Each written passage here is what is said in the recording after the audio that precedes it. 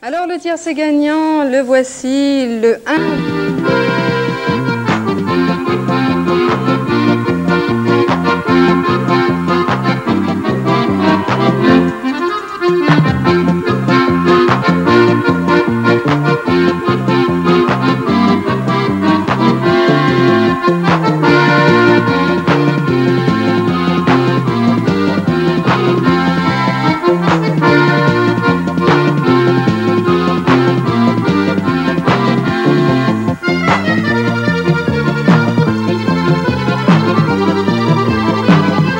Thank you.